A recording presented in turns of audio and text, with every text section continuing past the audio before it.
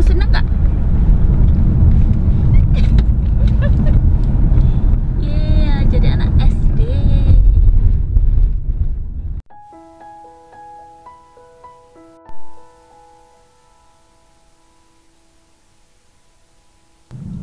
Hari ini saya mengantar Tio ke sekolah ya karena dia masuk SD kelas 1 mengantar anak itu penting kenapa Eh, karena untuk membuat anak semakin percaya diri karena bagaimanapun ini kan hari pertama dia masuk sekolah dan sekolah yang baru lingkungan yang baru yang berbeda dibandingkan dengan sekolah sebelumnya.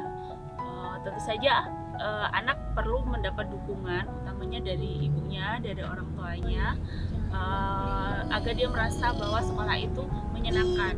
Sekolah yang baru itu sama dengan sekolah dia sebelumnya bahkan mungkin di sekolah baru ini bukan mungkin ya bahkan dia harus yakin bahwa di sekolah baru ini nanti dia akan mendapatkan banyak teman guru-gurunya juga lebih banyak dia menjadi lebih pintar jadi banyak tahu Mak, ya iya Seperti itu. Mah gurunya sayang kita. Iya, yang di PAUD gurunya Sedih. sayang. Oh sedih berpisah ya.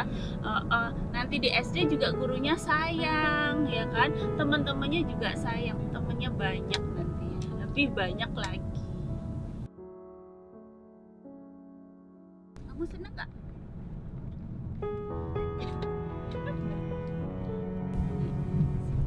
Dadah. Dadah.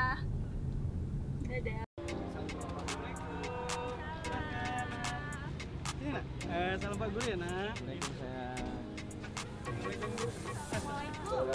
Siapa jenenge?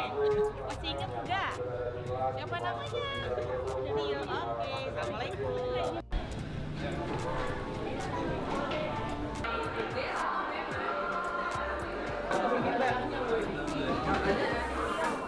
Sekolah sini.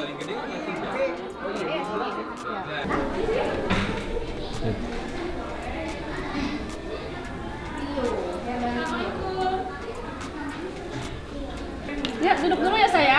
Tunggu kakaknya jemput nanti ada kakak. kepada anak-anak kelas 6 dimohon untuk mendampingi ada di kelas satunya kita akan sama-sama melaksanakan kegiatan lingkungan sekolah di lapangan. Pakai ya.